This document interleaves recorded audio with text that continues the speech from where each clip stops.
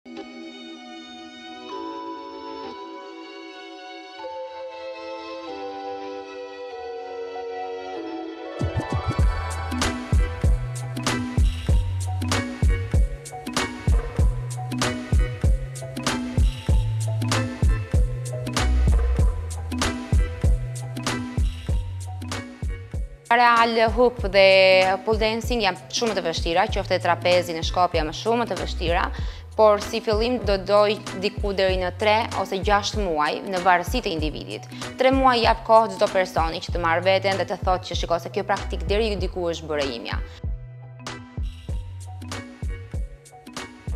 kategorikisht e ndaluar për gratë shtatzëna, të paktën ato që s'kanë bërë kurrë stërvitje përpara, kurse pjesa tjetër të cilët janë stërvitur ka mundësi edhe pse jo të bëjnë disa ushtrime të lehta, të shoqëruar gjithmonë nga instruktor i certifikuar, që e di se çfarë po bën në punën e vet. Në trapez ose në çdo lloj forme të ndryshme të aerialit, faktikisht sugjerohet 2 orë, 1 orë e gjysmë 2 orë, le të themi, pa ushqim përpara. Ose le të themi nëse ke ngrënë një snack me patjetër diçka të vogël, mund ta konsumosh, por që do ishte mirë sikur stomaku të mos jetë i rëndë, për arsye se ne kemi rrotullime, inversione të vazhdueshme që nuk sugjerohen.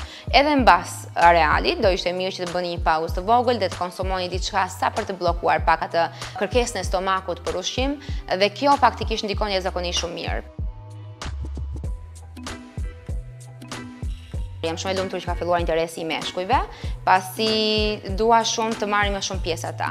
Dhe më së shumti po flasim për trapezin, i cili ose në sling, le të themi është një tjetër metodë, e cila është një copë më e butë, më e brishtë sesa vetë trapezi, sugjerohet tek të gjitha moshat, por të paraprirë gjithmonë qëndrojnë tek 30-35 vjeç.